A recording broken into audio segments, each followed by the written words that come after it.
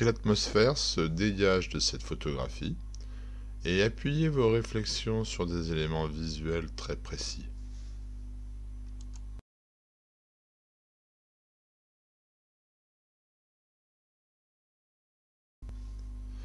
Une impression de joie, d'insouciance se dégage de cette photographie.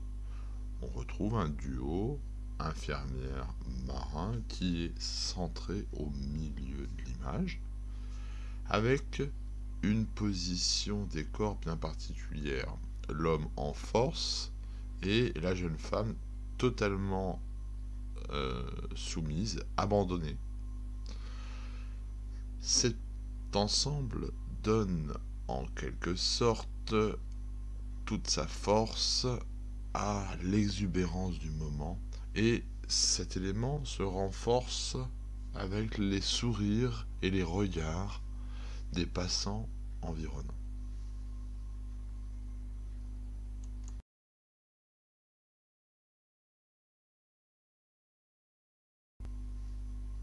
Quels choix esthétiques produisent cette impression?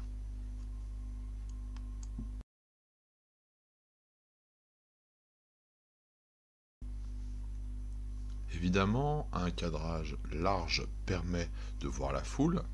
Ça joue donc pour dans un renforcement de l'impression. Hein.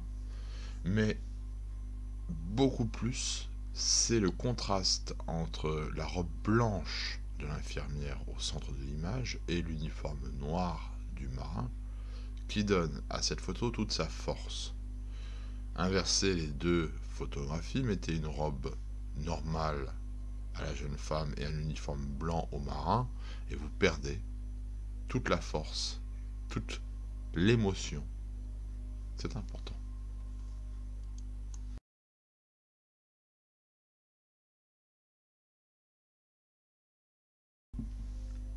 Selon vous, s'agit-il d'une photographie d'information ou une œuvre d'art?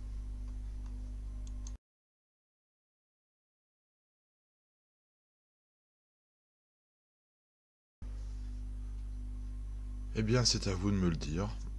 À vous de trouver des arguments dans un sens ou dans l'autre. Les deux points de vue peuvent se défendre. On peut partir du principe que c'est une photographie d'information sur un moment donné, ou que c'est une œuvre d'art avec une réflexion derrière.